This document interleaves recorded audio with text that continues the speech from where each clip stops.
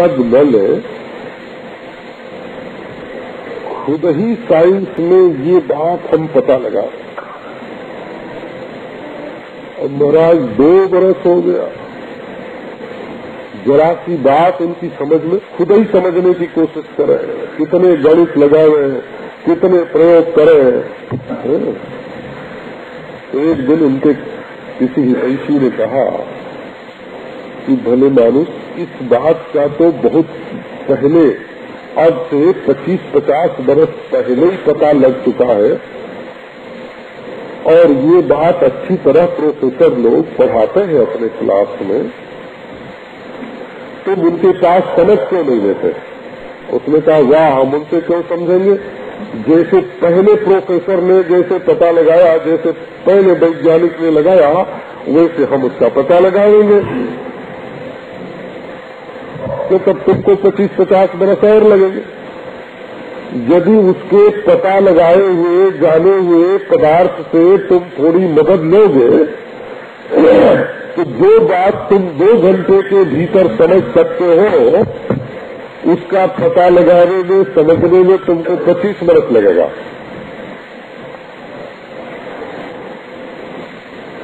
और यदि बड़े लोगों ने, बुज़ुर्गों ने इस बात का जैसा अनुसंधान किया है, उनके बताए हुए रास्ते पर चलोगे तो घंटों घर में मालूम पड़ जाएगा। तो एक अहंकार होता है मनुष्य को।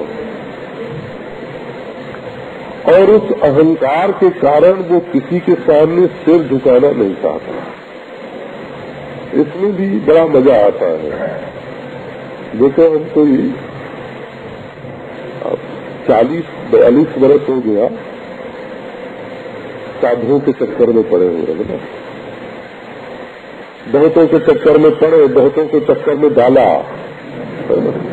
हाँ,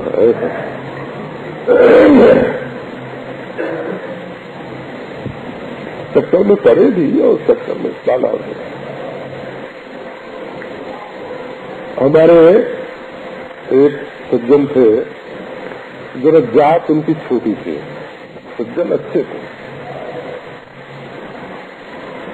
तो वो कहते थे कि देखो भाई, क्योंकि वो चेला अगर बनाए तो जाते हमारे सरपात्री जी महाराज और दूसरे लोग कहते थे कि तुमको चेला बनाने का कोई अधिकार नहीं है। क्यों बनाते हो? तो उन्होंने कहा कि नहीं नहीं न तो हम किसी को चेला बनाते है? और न किसी के गुरु बनते हम तो केवल मित्र बनते हैं। हाँ हाँ तो बोले देखो गुरु बनाने की कोई ज़रूरत नहीं। तो हम किसी को चेला नहीं बनाते तो, तो क्या करते हैं? बोले मित्र बनाते हैं। हाँ, हम तो एक अच्छा मार्ग बताते हैं।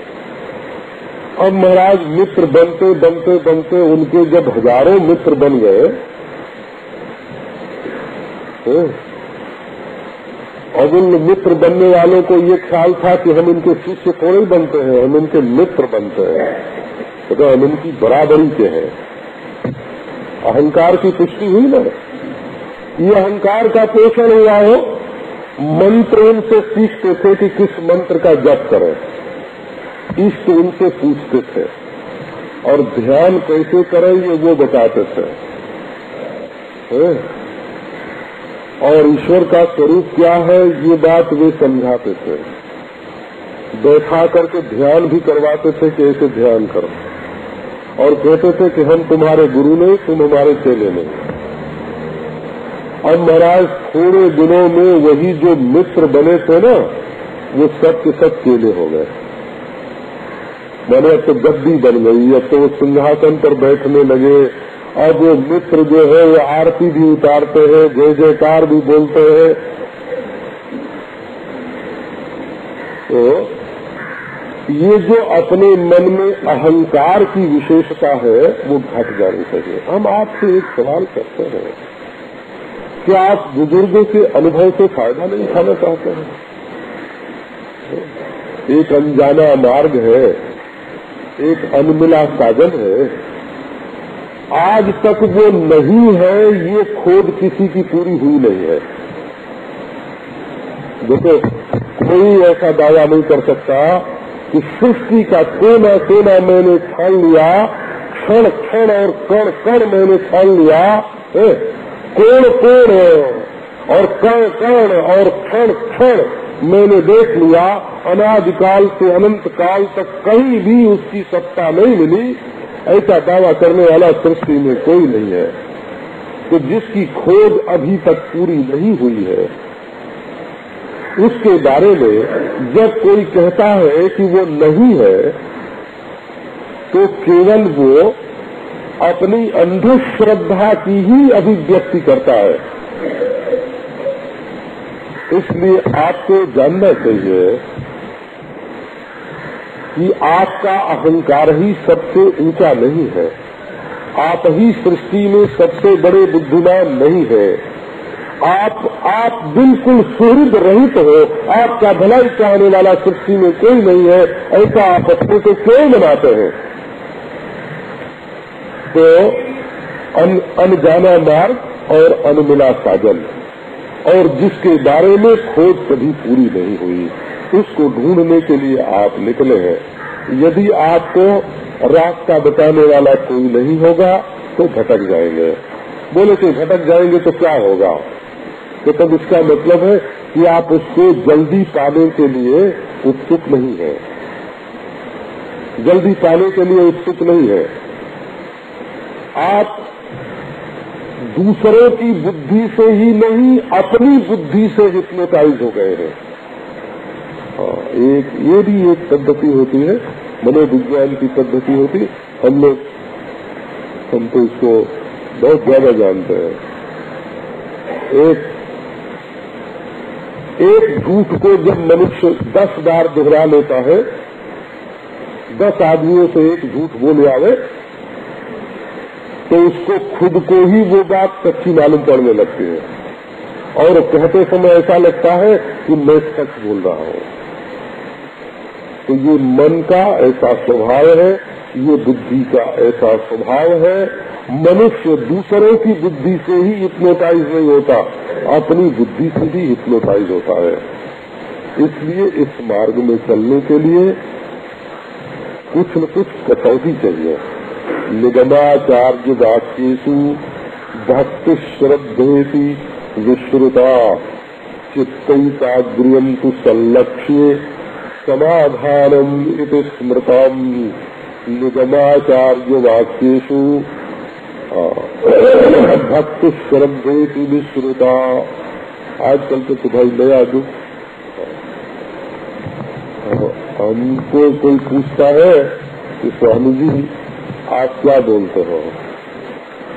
तो हम बोलते नहीं है? हम जो पुराने खड़हर है ना पुराने खड़हर उनके गाइड है बोला गाइड का काम करते हैं। हाँ, जैसे कोई लखनऊ का इमाम बाड़ा देखने के लिए जाए तो बादशाह यहाँ सोता था यहाँ बैठता था यहाँ खाता था है ना? ऐसे वहाँ बताते हैं। हाँ, बेगम साहब यहाँ ऐसे करते थे। यहाँ इत्र में नहाते थे, दिल्ली में बताते हैं, यहाँ इत्र में नहाते थे।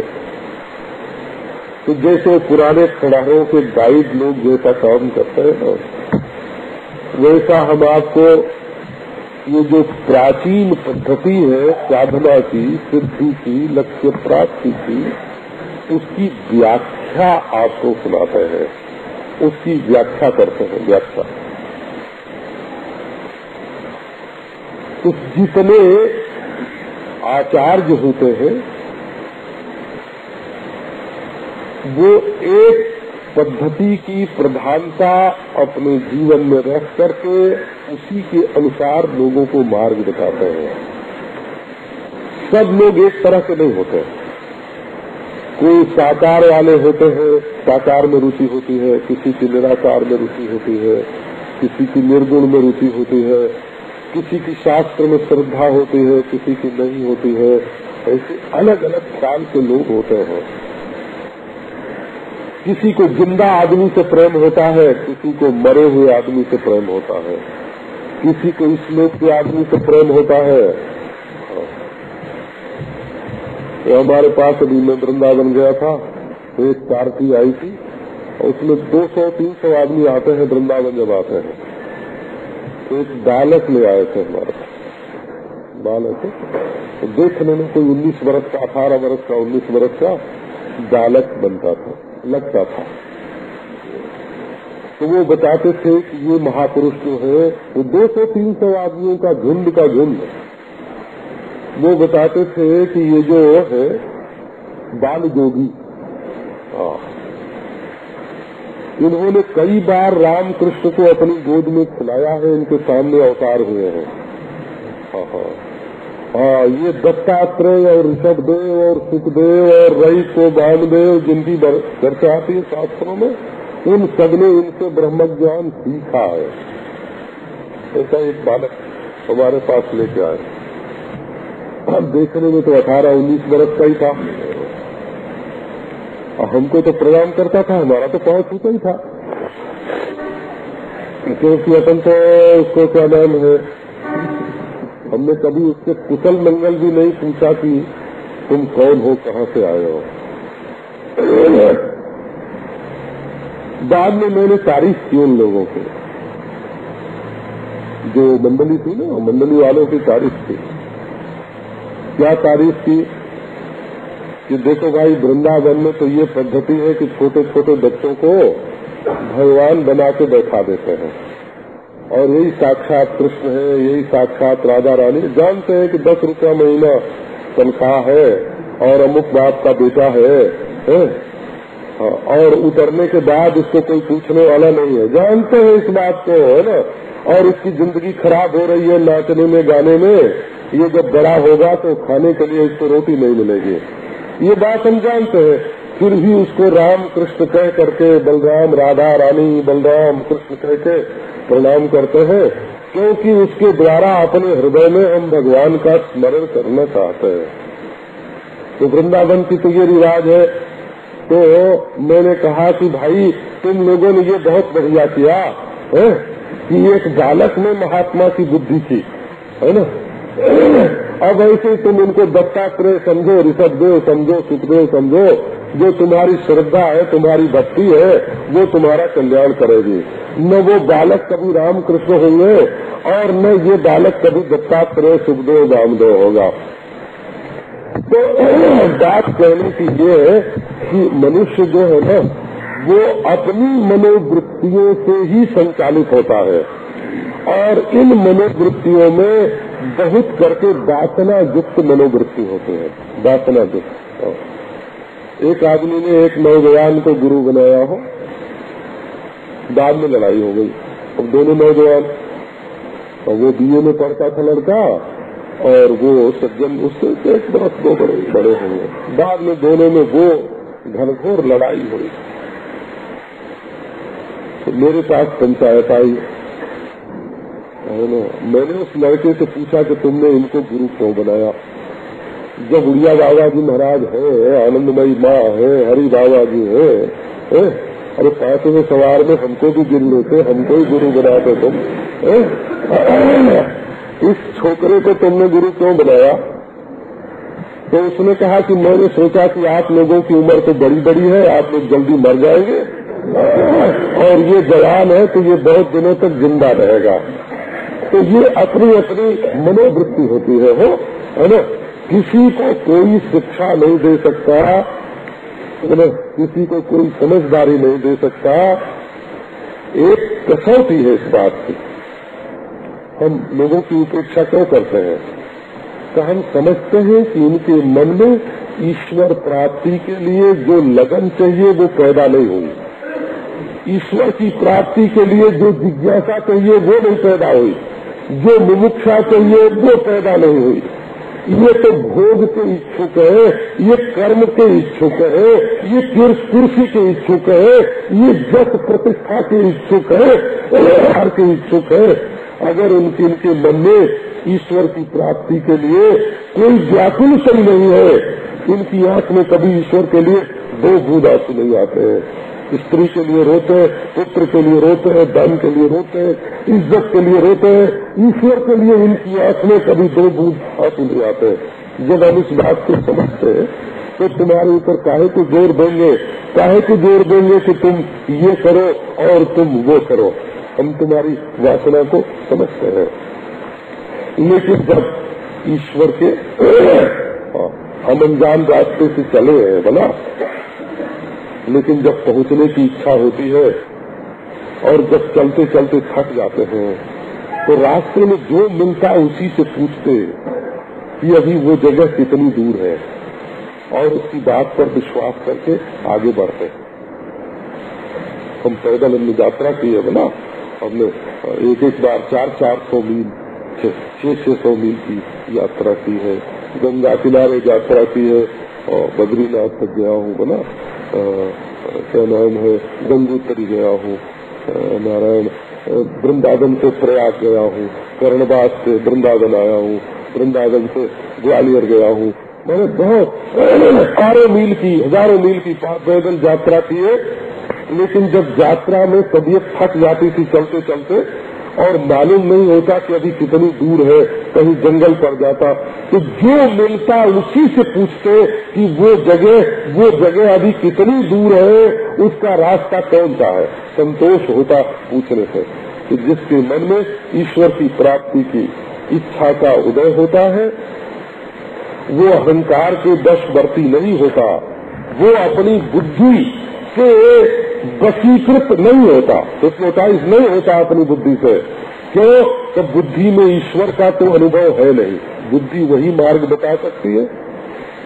जहाँ पहले से जिस चीज़ का अनुभव होता है, उसके बारे में बुद्धि बता सकती है। जो बुद्धि से पीछे बैठा हुआ है, बुद्धि जिसको देख नहीं सकती, जो बुद्धि को देख रहा है। है ना? बुद्धि से परे कौन है? तो किसी ने कहा कि जो बुद्धि से परे है, वो भी बुद्धि से जाना जाता कहा जो बुद्धि से परे है, वो भी बुद्धि से जाना जाता है। लेकिन जो उससे परे है हाँ वो बुद्धि को देख रहा है, वो बुद्धि से देखे जाने वाले को देख रहा है। ये जो देखने वाला, ये जो ज्ञान स्वरूप वस्तु है है ना? तुम भले शंकराचार्य का नाम मत लो, वेद का नाम मत लो जो तुमको आज कह रहा है कि उनका नाम मत लो उसका नाम तुम लेते रहोगे। जो तुम्हें कहेगा कि वेद का नाम मत लो जो कहेगा शंकराचार्य का नाम मत लो जो तुमको कहेगा गुरु का नाम मत लो जो तुमको कहेगा कि राम और कृष्ण का नाम मत लो ए? उसका नाम तुम रटने लग जाओगे। हाँ, उसका नाम तुम्हारी तुम्हारी अक्कल में घुस जाएगा उसका नाम। ये बुद्धि के स्वभाव को, बुद्धि के स्वभाव से परिचित होना पड़ता है। इसलिए इसका एक संविधान है बोला परमार्थ के मार्ग में चलने के लिए एक संविधान है। जैसे भारतीय संविधान कानून की पुस्तक है ना? तो ये तात्कालिक परिस्थितियों की दृष्टि से है। एक शाश्वत तत्व की दृष्टि से संविधान होता है, उसका नाम होता है निगम और उसके जो जानकार होते हैं, निगम निगम माने निगमयति जो उस वस्तु के स्वरूप का निश्चय करवाता है और उसके अनुसार साधन की प्रतिष्ठा हमारे जीवन में जो करता है, उसका नाम होता है आचार्य। इसमें जो भक्ति है, उस भक्ति को बोलते हैं श्रद्धा। गृहम तो संलक्ष्य समाधान स्मृताम। चित्तकाग्रियम तो संलक्ष्य। लक्ष्य में जो चित्त की एकाग्रता है बोले तुम जो पाना चाहते हो, जहाँ पहुँचना चाहते हो, एक आदमी गया स्टेशन पर पैसा हाथ में लेके खिड़की के भीतर डाल दिया। स्टेशन मास्टर ने पूछा, कहाँ का टिकट है? बोले, जहाँ की तुम्हारी मौज हो, वहाँ का है मैंने ये लक्ष्यहीन यात्रा, है? तुमको मालूम नहीं है कि तुम कहाँ पहुँचना चाहते हो। तुमको शांति चाहिए, ये मालूम नहीं। तुमको परमानंद चाहिए, ये मालूम नहीं। तुमको संपूर्ण दुखों की निवृत्ति चाहिए, ये मालूम नहीं। बोले, चाहे कहीं चाहे कहाँ कहीं पहुँच जाए। तो लक्ष्य का निर्णय करना पड़ता है। लक्ष्य कैसा तो न लभ्यते यद भ्रमताम ऊपर यथा जो प्रारब्ध से नहीं मिलता है, जो इंद्रियों से नहीं मिलता है, जो विनाशी नश्वर नहीं है, जो परिच्छिन्न नहीं है उस लक्ष्य की प्राप्ति कल लक्ष्य। मैंने अब तक के संतों ने जिसको प्राप्त किया है, एक बड़ी विचित्र बात है तो हम पाना तो चाहते हैं उस वस्तु को जिसको तुलसी ने पाया।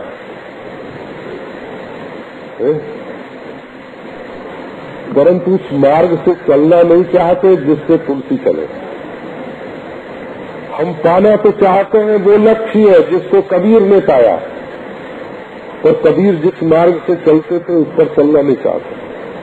हम चाहते हैं कि शंकराचार्य को जो पदार्थ ज्ञान, जो परमार्थ ज्ञान, जो लक्ष्य प्राप्त हुआ, वो हमको मिले। लेकिन शंकराचार्य के बताए हुए मार्ग से चलना नहीं चाहते। तो संलक्ष्य का अर्थ हुआ सकाम लक्ष्य। हम सत्पुरुषों का जो लक्ष्य रहा है भला किसी संत ने वासना पूर्ति के मार्ग से परमात्मा को प्राप्त किया है? आज तक कोई ऐसा संत हुआ है जिसने वासना पूर्ति के मार्ग से परमार्थ को, अपने लक्ष्य को प्राप्त किया है? हम चाहते हैं वो जो स्वामी राम तीर्थ को मिला। पर स्वामी राम तीर्थ का साधन।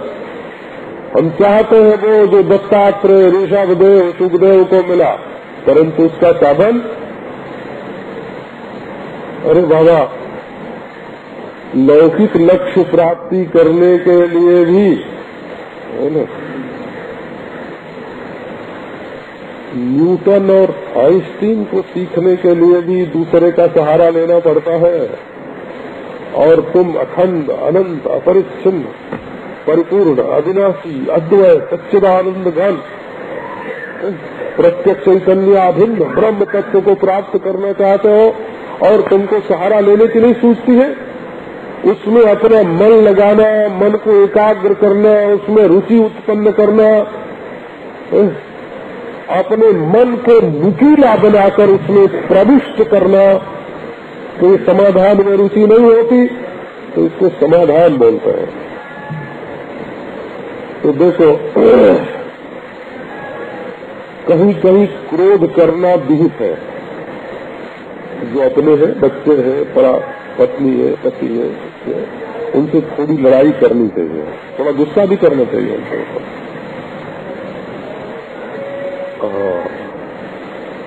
पर उनके अनिष्ट की तो इच्छा अपने मन में नहीं होती ना।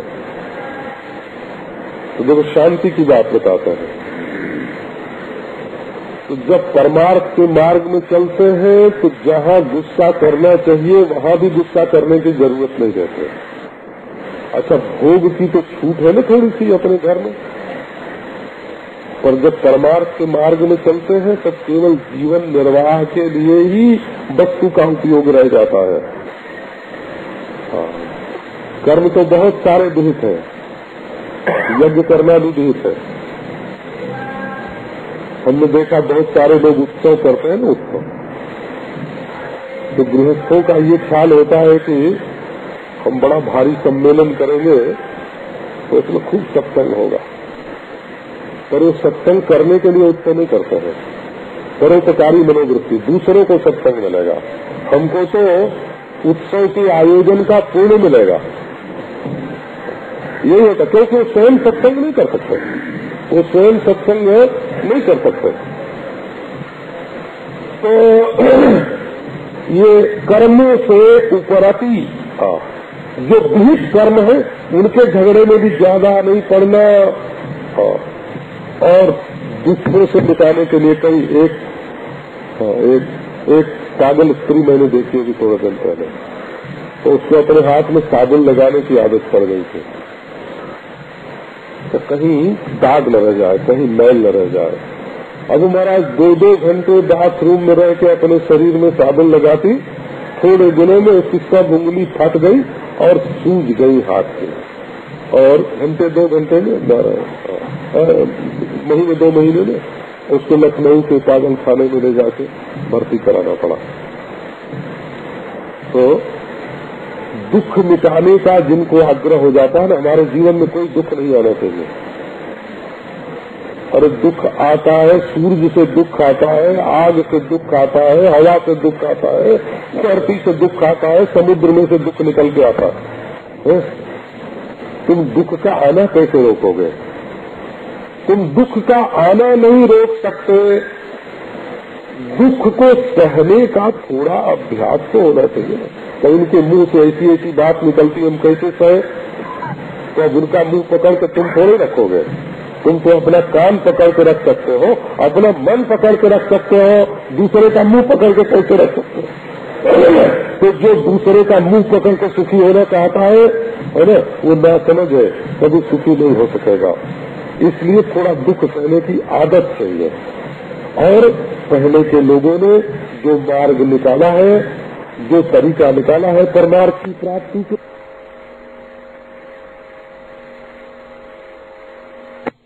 वो जो संतों का लक्ष्य है, उसमें मन की स्थापना करनी चाहिए। एक महापुरुष से मैंने पूछा, ईश्वर कैसे मिले बोले, ये ये चौथा साधन है मैंने पूछा, हमको भगवान कैसे मिलेंगे? बोले, बस कैसे कैसे कैसे?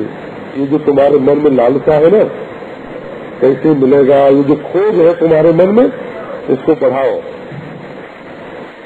कैसे? ईश्वर कैसे मिलेगा?